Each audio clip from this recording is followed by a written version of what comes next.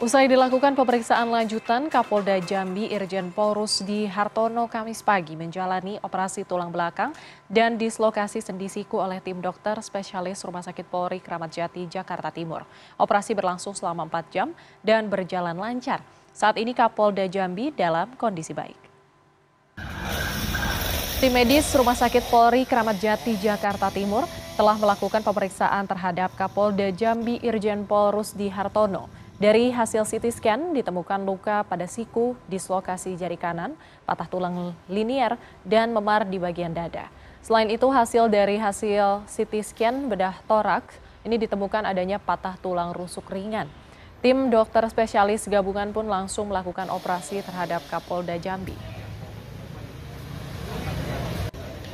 Hasil daripada CT scan dan MRI kita dapatkan kita rapatkan dan pagi ini mulai pukul 9.30 sampai siang ini selama 4 jam setengah kita lakukan penanganan operasi di uh, ruang operasi dan Alhamdulillah uh, operasi berjalan lancar dan kondisi Bapak uh, dalam kondisi yang baik.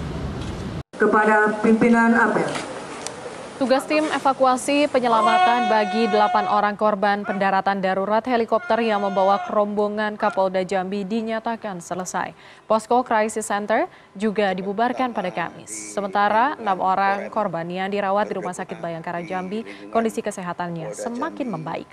Untuk evakuasi bangkai helikopter akan dilakukan pekan depan oleh Bahar Kam dan Korps Pol Air Mabes Polri. Langkah-langkah administrasi yang lain kita sedang lengkapi misalnya dengan mengambil merencanakan tinggal merencanakan mengambil bangkai dan sebagainya.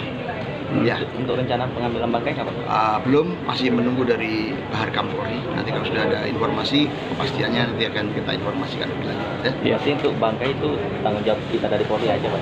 Ya nanti ada teman-teman juga. Saya nggak tahu nanti secara secara detail teknisnya seperti apa tapi dari Korpol Airut akan menyampaikan nanti pada kesempatan tiba di sini ya.